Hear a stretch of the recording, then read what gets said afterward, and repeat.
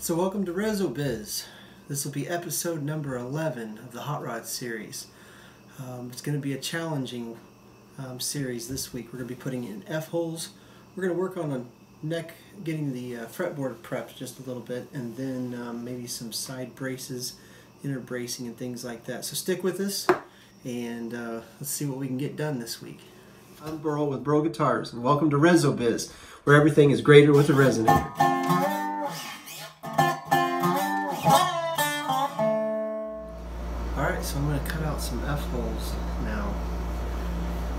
And I've already drilled a couple of holes to get me started.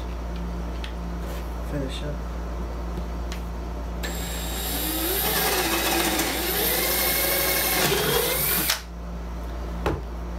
With that one.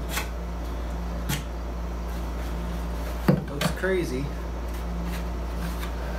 Um, it's now got six holes cut in the top of it. I should just leave it like that.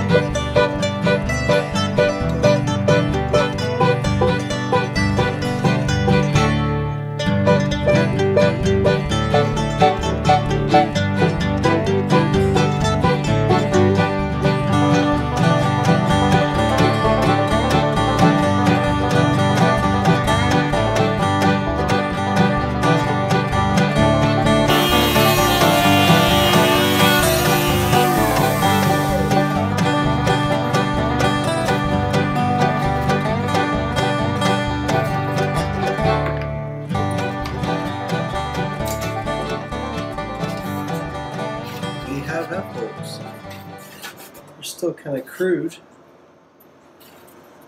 but main shape's there. Now I gotta get a uh, have to bevel the inside of these braces here, and um, normally these have braces that go there's sound holes cut in a circle, and then braces that go across, kind of an angle in the back but because I didn't have, I'm not putting braces on it at all. That's why these looks like lungs stuck in it. Um, kind of, uh, kind of uh, thicker pieces of uh, not thicker. It thickens up the top and um, all together once you put the two pieces together. Nice piece of mahogany stuck in there, and uh, it it looks like over braced, but it's not a guitar. It's a dobro And I don't think it's going to hurt it for, for this. Plus, there's just so much space that the uh, F-holes are letting the sound come out. So, um, just it's just a real big sound. But it's well braced. We'll bevel that so that the, the sound can flow out well. We'll clean this up. Lot of times I break or I uh, bind this. I'm not binding this guitar. Um, not this time. This is going to be something a little bit different for the Hot Rod series, but I just I got something in my head of how I'm going to do it, and it's going to be all black. And if you've never seen realistic flames, we're going to torch this thing.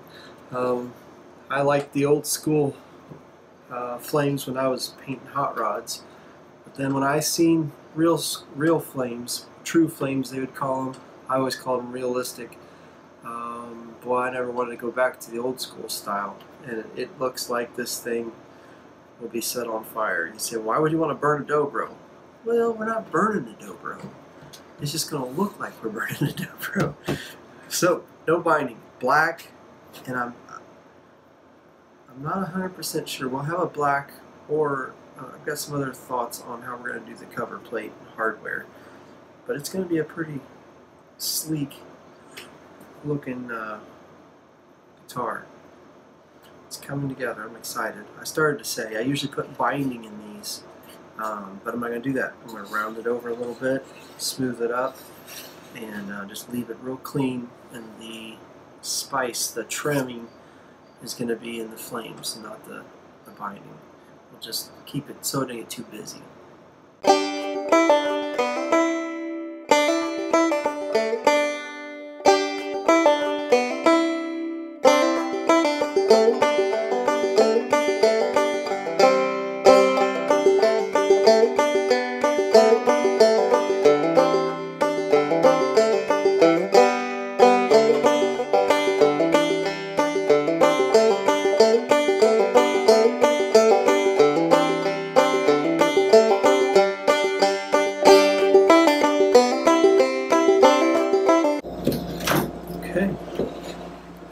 There's our F holes.